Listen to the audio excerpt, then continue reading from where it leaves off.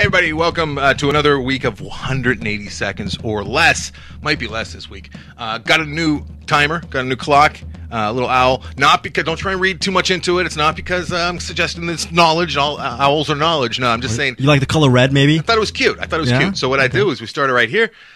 It's right around three minutes. I, I, my old clock was not working. All right, when this thing goes off, we are done talking about The Neon Demon. the Neon Demon. The sexiest uh, film lovers pick of the week. So, anyways, Elle Fanning plays Jesse, a 16 year old wannabe model who moves to LA, actually specifically Pasadena, California, to become the next big thing Right. in the fashion industry. Sounds like a story we've all heard before, right? Uh, a, a young little uh, deer in the headlights, which is actually a term they use in the movie, comes out uh, to Hollywood to make it. And uh, she's defenseless and she's pretty and she's just uh, ripe for the picking of uh, bad people, which she runs into many of.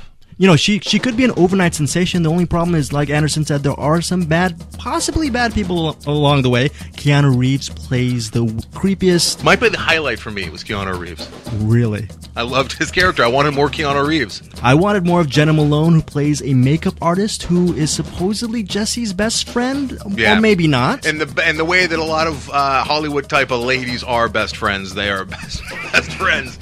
Which uh, she's not trustworthy. And Bella Heathcote and Abbey Lee, they play the models who are very talented but very competitive with Jesse as well. So Jesse has her hands full with a lot of maybe snakes in the grass. This is a movie that, if you see it, you will never forget. Uh, I and Greg both like it more after seeing it. Neither one of us loved it once we walked out. I still continue to think that it has many problems. As we say, we spent 15 minutes talking about it on CinemAddicts this week. I think like 20 to 25 minutes. We spent a long Yeah. time talking about it, but my issue with it is it was all style, very little form, especially when it came to the story. I wish the story was a little more accessible. And the gore at the end is absolutely unnecessary. Not even that it, it grossed me out. I was just like, why? Why? yeah, I mean, I, I think the movie had pacing issues, but overall, there are moments in the movie that will stay with me for years on end. I, I came out of it sort of not liking it, and now it's to me, it's a four star film. I This is- really love this movie. A Nicolas Winding Refn movie through and through. He's working on the same level, level as uh, Jonathan Glazer and uh, Darren Aronofsky and David Lynch to a lesser extent. Like you were saying, Anderson, it's a very polarizing film. You're either going to love it or hate it. But it, we can say this: if you love movies, you should see this movie. It is very violent, though.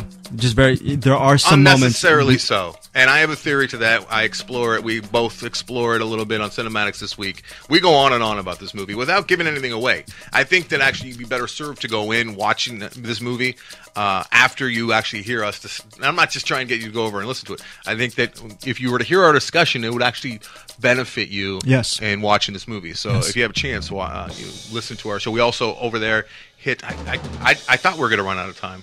We're we're But we're also hitting Hunt for the Wilderpeople, which Yes. is a really cool film straight out of New Zealand. Uh-huh. And we're also uh, what else are we covering? Uh, we're covering Wiener Dog, Todd Solondz new film, Yes. as well as uh, Free State of Jones. Free State of Jones. Anyways, if you love wiener dogs, this is the movie to check out. Is that is that clock working, Anderson? No. Oh no, that's so sad. Thirty seconds. Oh, it just it's ran. Clock issues once again. That's what happens when you use analog. Hey guys, thanks for checking out 180 seconds or more this week. I guess it is, and uh, we'll come back next week. Next week, What? Next week, what are we doing? What are we doing next week? Army We're doing BFG, possibly next week. No. we're doing Swiss no, Army we're talking Man. about 180 seconds or less. We're doing Swiss Army Swiss Man. Army Man. Yes, yes. And for more information, please check out our podcast and news on thecinemaddicts.com. CinemAddicts. CinemAddicts.